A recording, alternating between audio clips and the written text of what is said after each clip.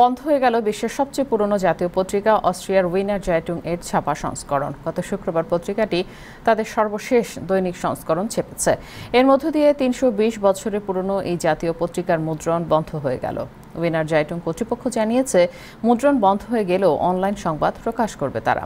একই সঙ্গে এক মাস পর পর একটি মুদ্রিত সংস্করণও প্রকাশ করা হবে। তবে এসব নিয়ে বিস্তারিত কোনো তথ্য এখনও জানা যায়নি। কীভাবে কি করা হবে তার পরিকল্পনা করা হচ্ছে। সতেরোশো তিন সালে প্রকাশিত পত্রিকাটির নামকরণ করা হয়।